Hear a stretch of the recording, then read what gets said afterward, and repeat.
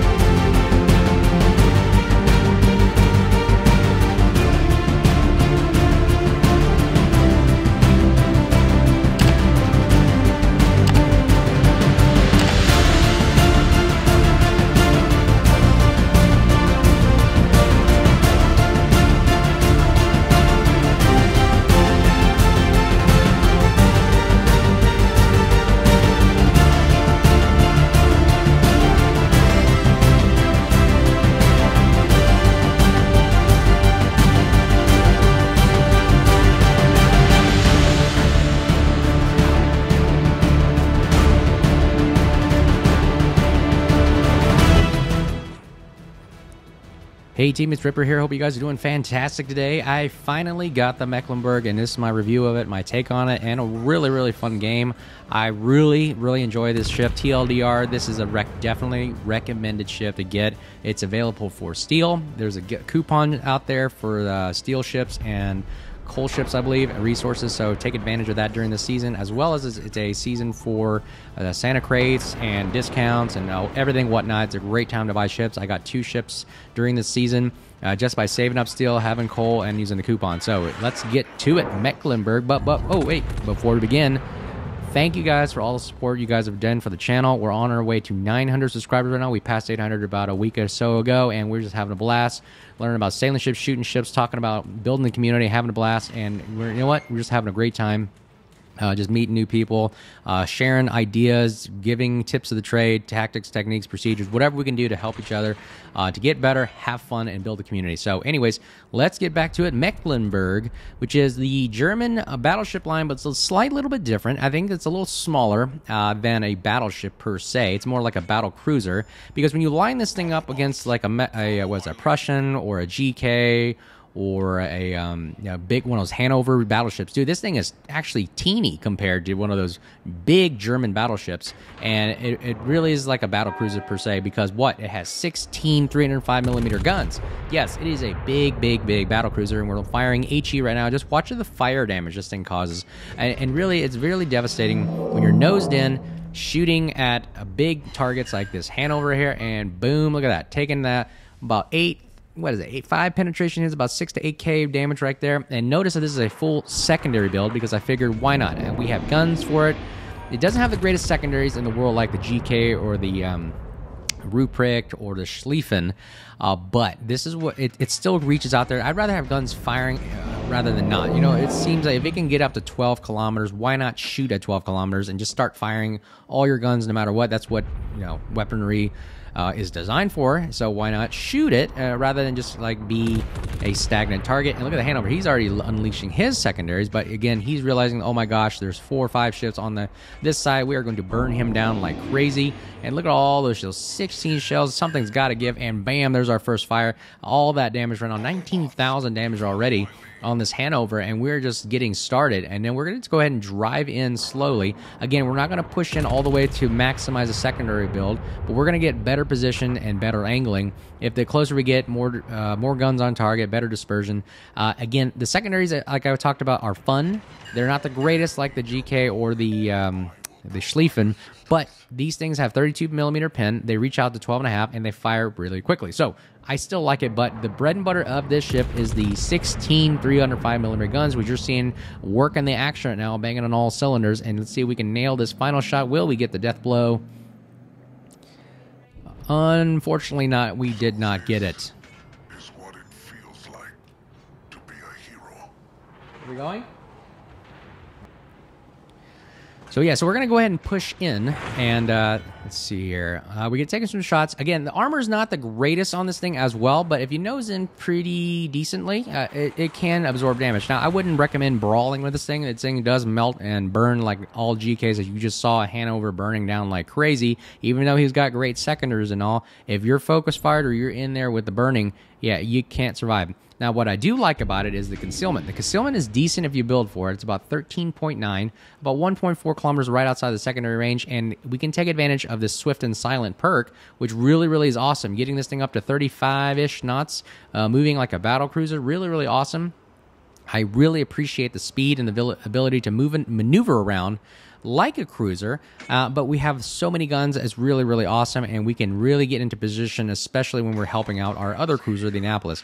So right now, the game is this is the um, what's it called center map. I forgot what it's called. It's it's I think it's where you pick up perks and and uh, you know, power ups and whatnot, but we're there to cap the center eventually in about a one minute and 56 seconds. Uh, and that is what the game really is designed around, but it gives us these boosts and power ups that most likely you don't normally get in a regular game or clan battles or whatever, but it increases your ship's ability really, really well. Again, especially the reload rate. The reload rate on this ship is amazing. Uh, if you can see right there, when we fire 20 second reload for 16 battleship style guns, I mean, this is really awesome. Missouri making a mistake right here, going pushing in towards a secondary uh, Mecklenburg, as well as having Annapolis shooting on the broadside, not the greatest. Look, our secondaries are already popping off right now. Again, I'd rather have secondaries shooting rather than not. Why have them on the ship if they're not going to shoot, right? And we get a couple other four-pin hits right there, and we're going to slow down. And the maneuverability on this thing is okay. It's not the greatest but it does what it needs to do for the size of this ship. I mean, it can turn, it can speed up, slow down, just great, especially with the swift and silent. Really, really good maneuverability in that aspect. But other than that, I mean, this is a big hunk of chunk battleship, right? Let's see if we can get this final death blow kill right here. And ooh, somebody took down Ohio. And there goes the Missouri taking that bomb of the Annapolis. And we're going to head go ahead full throttle push forward. Okay, so our strategy right here is to see those three ships to the south, the Slava, the Yoshino, and the Montana. We're going to see if we can help Annapolis push forward because why? We're a good teammate. Annapolis is requesting for help. So we're going to go ahead and push forward and see if we can provide good support and uh, let's see if we can also get positioned because if we stay near the center of the map, once that center area appears, we'll be in prime position to help cap it, as well as take out the enemy team to the south. About 12 minutes into the game, 54,000 damage. Secondary hits, we got two. Yay. Still full secondary build. I'm showing you what it can do. Again, your choice if you want to build into more of a fire prevention kind of style battleship, survivability. It works just great. I just like secondaries shooting rather than not. And again, if you're gonna burn, you're gonna burn. I mean, I have fire pre- prevention on this ship, but again, there's nothing, no perk you can add that really can just stop people shooting at you. It just takes good positioning, maneuverability, situational awareness, and talking with your teammates to figure out what we're gonna do. What are we gonna do next? Our next target is going to be the Montana. Montana showing full broadside here. and We're seeing we knock out the Yoshino at distance, but again, the dispersion on the Mecklenburg is not the greatest. If you notice some of my shots right here, as I take a shot to start a fire and switching to AP for a broadside battleship, switching AP, we're going to see if we can start a fire with it. Ooh, Montana took a massive hit right there. Great job right there. Now the Montana doesn't look as scary anymore, and looks like we may be able to take down this Montana with the Annapolis. So we miss all of our shots right there. Notice that last shot we fired, eight guns in front. Although there's eight guns in front, none of them hit. So, again, wonky dispersion, not the greatest. So let's see if we can push in and see. Ooh, no over pins. Wow, three over pins and non-penetration. Again, these 305 millimeter guns are weird. They're not the biggest, but they do start a lot of fires and they do punish when you're really, really up close. So I would say this is a good brawling battleship with 20 second reloads, secondary build it, it's good, and he's got six kilometer torpedoes like the Germans do. But again, it's not the greatest at long, medium long range. You got to get in there and push and, and push the, the, the threat. Like I said, unfortunately, in this meta today, man, if you push, you're gonna suffer some onslaught of burning here with our angling right there, we see we can deflect some of the Montana shots. Oh, and here comes the Slava. Okay, what we're going to do decide is we got to kill the weakest ship right now and get him out of the game. Two guns is too much for us. We're going to see we knock out one. That means we got a two to one advantage if we do. So we got to get this Montana out of the game. So we're going to have to show a little bit more broadside to get all 16 guns. And we see we can elect to burn down the Montana. And he's shown a lot of angling, so that means we're going to have to shoot his superstructure with all these shells. We, we deflected a good a number of shots from Montana. See if we can get this last shot off. And there goes the kill. Splash one. RIP back to Porty Montana. He's down. And we have Torps on our left, making sure that we are aware of that. But we also have to angle at the Slava right there. Here's the torpedoes. We got to make sure we are not going to hit those. And we're going to switch to HE to push this Slava because I know he has some weak armor uh, near the superstructure and he burns really easily. But his guns do pack a wallop, so we got to make sure we're going to have to maintain angling and keep maneuvering to make his shots more and more difficult. Now, the cool thing is the Annapolis is taking a lot of those shots because he looks like a more juicier target, if you will, but we're going to keep firing HE and start. There's one fire right there. HP endpoint buff increased, and we got the secondaries going off and see if we can start more and more fires. 32 millimeter pins, which means if those shells hit the superstructure of the Slava, they are getting full damage right there. So look at that. We're getting 500, 500, 1,000. I mean, something better than nothing is what I like to do. More guns firing equals more damage output. It gives you a better chance of survivability and get this guy out of the game. My goodness. And now he's hugging the corner like most players do. But you know what? Let's. I probably would have done the same thing in this situation. I mean, you you just got to do what you got to do with your given. We shoot again the superstructure with our HE cells is great. Again, great reload. 16 guns. I'm not afraid to show a little bit of cheeky broadside. And where is he firing? They go past. Again, he's still shooting at the Annapolis. We're gonna take advantage of this. Fire all our main guns right there and see if we can knock out this guy and secure the game. Come on, let's get another kill right here. And will this do it? No, Sir Bob. 4,000 HP. I'm not afraid to show his broadside right now because why? We got to turn back towards the center of the map, and he goes down. Way to go, Annapolis, burning them down. And again, our turn is committed to the center. We got to get back to the center. Now, look at this. We have eight minutes left, 108,000 damage already with three ships against our four with an aircraft carrier. So, what can we do right now? We're going to have to mitigate as much damage as possible. We got 84,000 HP. It looks like we can take on this uh, Conde. We've got the what is it? Midway. I believe that's another. Mar- oh, that's a Marlborough. Okay, so a Marlborough is first of all low health, but I'm not afraid of the Marlborough because he is a, a, tier or two lower than us. I believe. I believe. I believe a Marlborough is a tier eight because I do believe I do believe playing a Marlborough in tier eight before, but uh, I don't remember. Anyways, let me know what you think below. I think the Marble is an okay ship for that tier, but man, when you're going against a Mecklenburg tier 10 battle, you're up tier. This is just not fair, especially with super ships. Maybe the Marble's tier 9, because if a super ship's available in the game, I think you can only have a spread of 3. Let me know what you think below uh, if I'm wrong.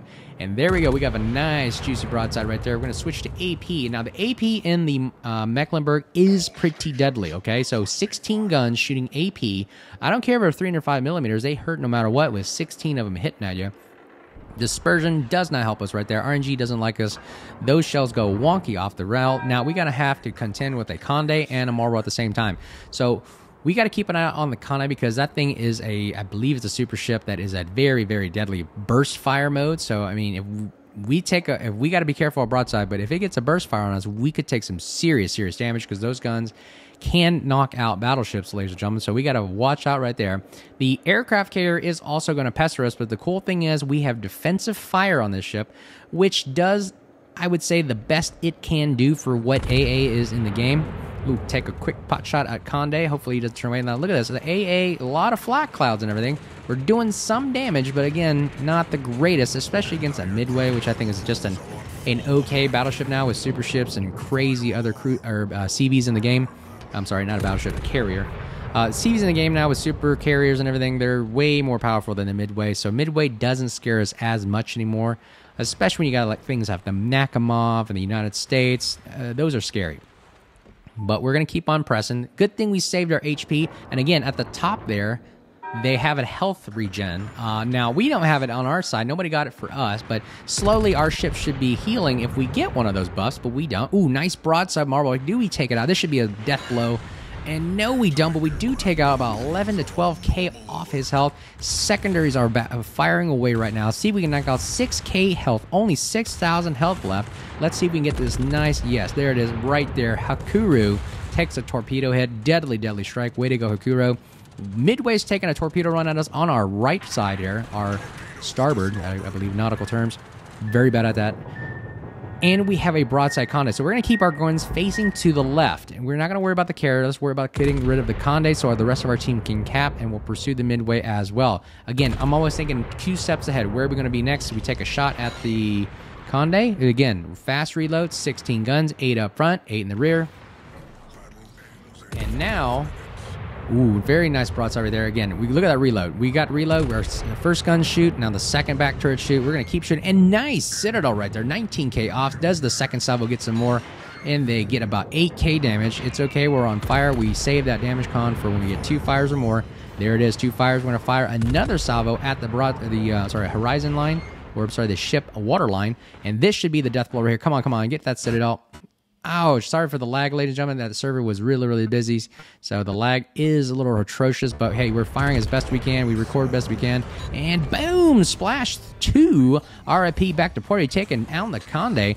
We are still in the lead and it looks like the Mecklenburg, if we can survive these carrier attacks, can survive. And we're going and try to cap the rest of our team, turning on defensive AA fire to prevent these dive bombers from taking us out. But it still gets one bomb run off on us. That is ridiculous.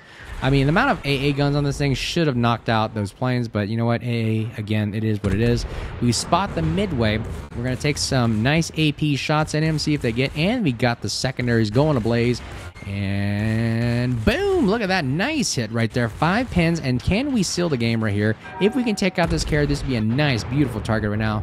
Again, sorry for the lag. At the end of this match, it seemed like the, the either the server or the, the internet latency was pretty, pretty bad. But I'll tell you right now, we pretty much win the game. Our secondary Lucians uh, re, uh, activates. We get nice secondary reload boost. And hey, the game is not laggy as much anymore.